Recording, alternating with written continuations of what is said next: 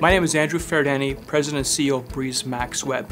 We are a Profit 500 listed digital advertising agency whom prides itself on providing conversions and return on investment for our customer base. We believe in investing heavily in our people, uh, in our in our knowledge, uh, so significant amount of training that we provide to our employees. We believe in workplace culture uh, and excellent client service.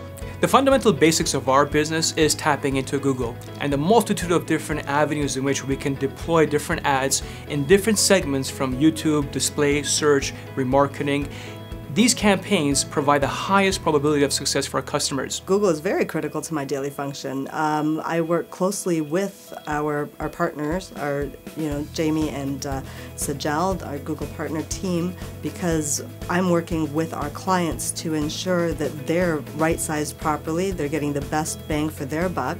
So I need all the data and the stats from our Google team to help us. Working with Google has been uh, an, an, amazing experience. I mean, it's one of the key reasons why, why we exist today and why we've done so well.